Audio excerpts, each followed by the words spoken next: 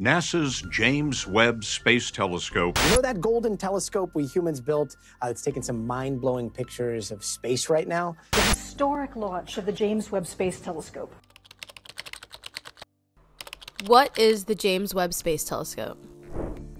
NASA's James Webb Space Telescope is the largest, most powerful space telescope ever built. Often referred to as JWST or Webb, the telescope was launched on December 25, 2021 at 7:20 a.m.